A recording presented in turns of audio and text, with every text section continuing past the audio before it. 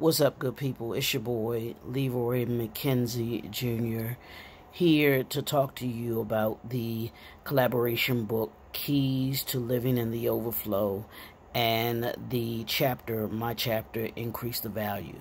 Um, and what what I'm discussing in this chapter uh, is how we increase our value um, by bringing um, God into our life. And the story that's used uh, in this chapter, or as we use as an example, is the um, the point where Jesus comes to the comes to Peter when he had been fishing all night. Peter had been fishing all night. Him and, and the others were on the boat. They'd been fishing all night. They had the nets out there and they caught absolutely nothing all night. This was their regular job at the time, um, but they they'd gone out fishing all night and caught absolutely nothing. But um, it's not until Jesus comes along and tells them to cast their nets on the other side of the boat that they catch so many fish that they are unable to put the fish on their boat. It was too heavy for their boat. This is how many fish that they had. It would have it would have virtually sunk the boat. So what is it? What am I saying? What does this have to do with the keys to living in the overflow? What does it have to do with um, with increase your value? Here's here's how we connect this. Um, here's what we'll discuss, and I'll give you just some. I'm gonna give you three points um, on this, on increase the value uh, and how we increase the value, our value, with being with Christ versus being without Christ. First thing I'm going to talk to uh, talk about is uh, come to know who God is.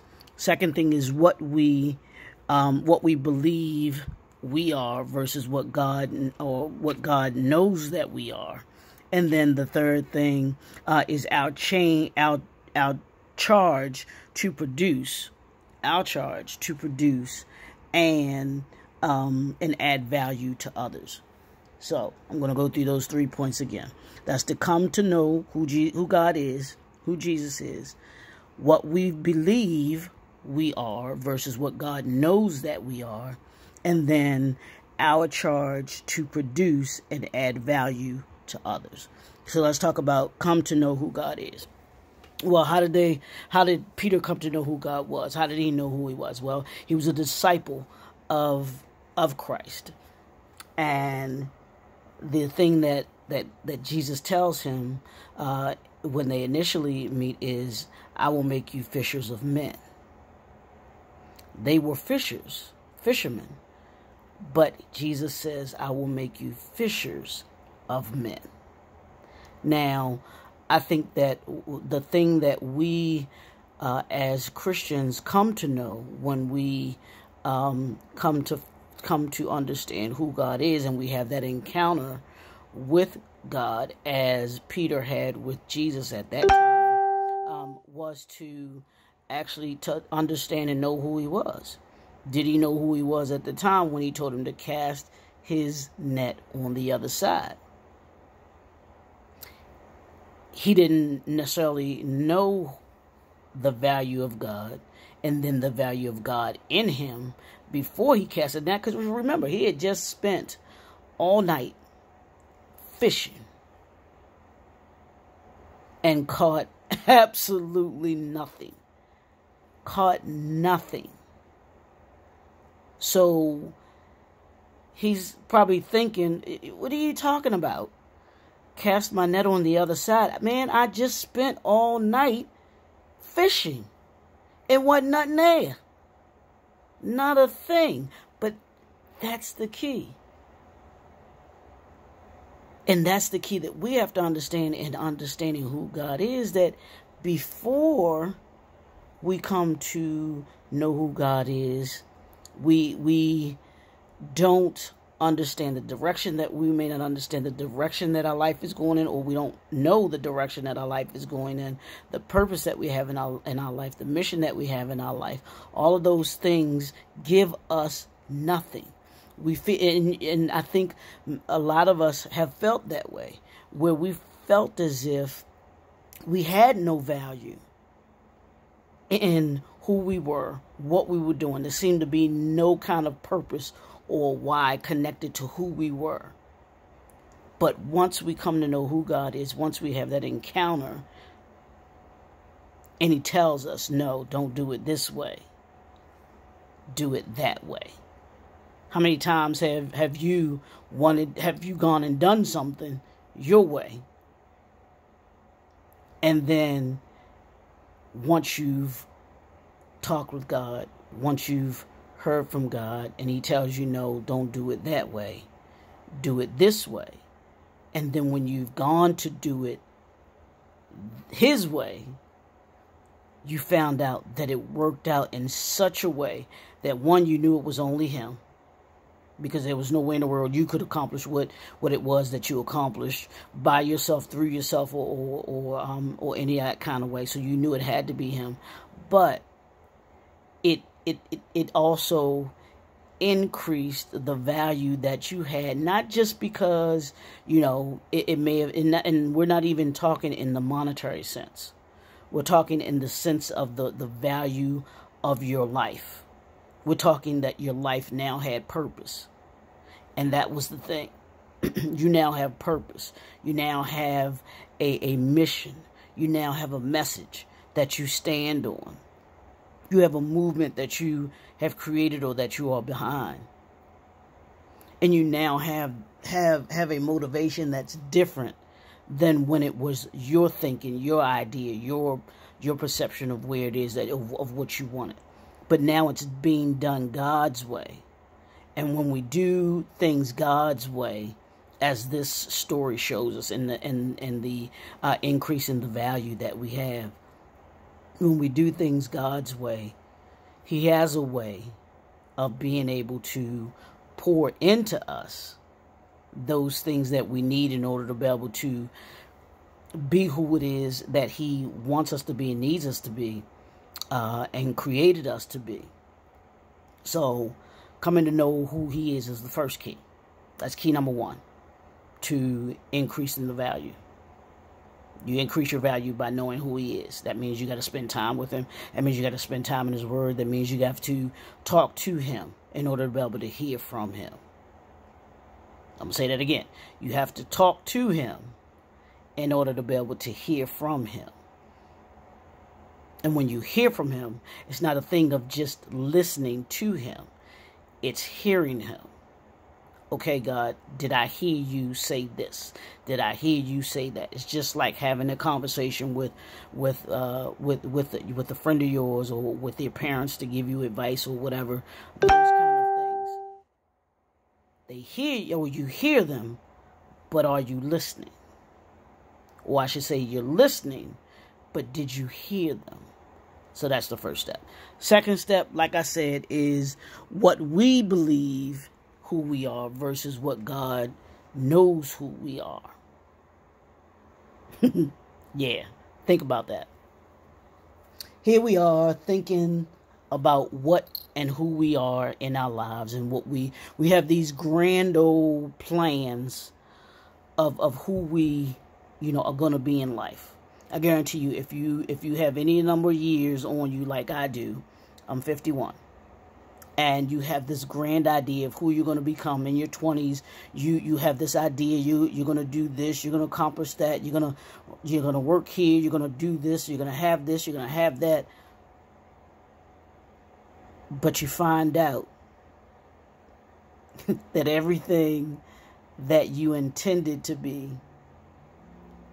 was not in, well, all of it may not have been, some of it may have been, but most of it has not been what God had planned for you. And that's key. So we may want to have done this, we may have wanted to do that, but God's will trumps everybody else's will. Nothing happens outside of His will. If you don't believe me, ask Job. Ask Uh, ask Job about that. Ask, um, uh, oh my God, it that that wanted that didn't want to go to Nineveh? Uh, Jonah. Ask Jonah. He said, "Lord, I'm not going to Nineveh. Them folks over there crazy. I ain't trying to talk to them. They ain't gonna do nothing, you know. But act crazy if I go over there and talk to them." But what did God say? God said, "No. I want you to go to Nineveh." he tried to go in the opposite direction, which he thought he knew what he wanted to do versus what God already knew he was going to do. He was going to go where God wanted and needed him to go. That's why he told him to go to Nineveh. Now, he fussed and cried and even tried to run away, but at the end of the day, where did he wind up? In Nineveh. And and and and when he went to Nineveh, he understood the value that he had and what he was doing in Nineveh. Same thing with Peter. When he when Jesus told Peter, "I will make you fishers of men." What you're doing is good. You're making a living. You're doing what you're supposed to do right now to be able to do, but I have a bigger calling for you. Fishers I want you to be able to add value to other people just like I'm adding value to you. That's what God does. When He adds value to us by pouring in us, we have the responsibility to pour into others. No ifs, ands, or buts about it. We're just a pass through. We're a conduit for what God wants to get done. And when we can understand that, then we understand it's not about what we think of who we are. it's it, it we go into what God knows we're going to be.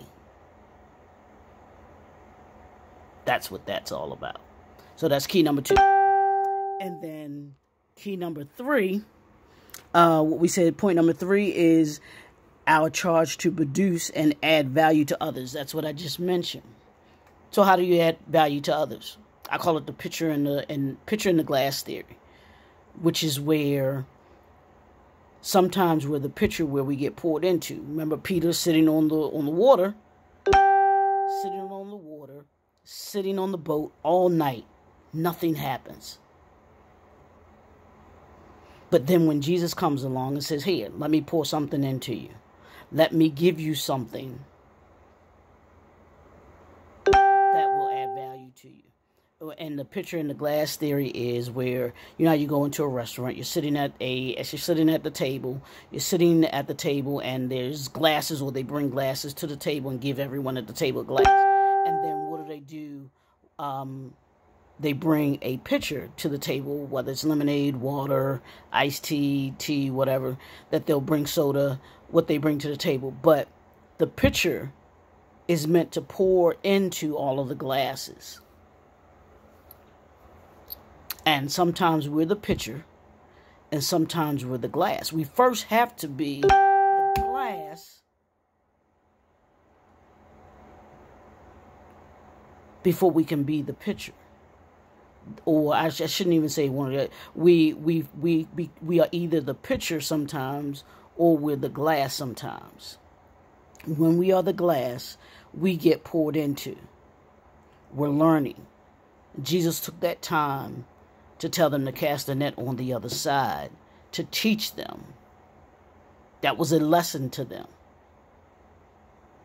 That you fished did all of these things that you wanted to do in order to be able to try and do what it is that you wanted to accomplish, but you didn't accomplish anything. But when I came along and I gave you what it was that you needed and understood that needed to be in you, I need to be in you before you can accomplish what it is that you need to accomplish. Because once he was on the scene, once he was there, once he was within them, once he had the word for them, they were able to they were able to then accomplish what they accomplished what they needed to accomplish that night which was to become fishers of which was to gather all of the fish and here's the thing about it. Here's here's here's the key about that with giving us the charge. Once they had the fish, they had so much fish that they could not use it all themselves. They had exceedingly and abundantly more than they had asked or even could think of. Sound familiar? So that their value was increased not only to themselves, but their value became such an increase that those that were connected to them their value increased because they got the benefits of being connected to Peter and the other fishermen that were there. Because they had to they had so much that they had to give it to some of the other fishermen. So can you imagine that? And that's why it gives us that he pours so much in us. As as as him being the pitcher for us that we get so filled that we then become now get charged with being the pitcher and who he was.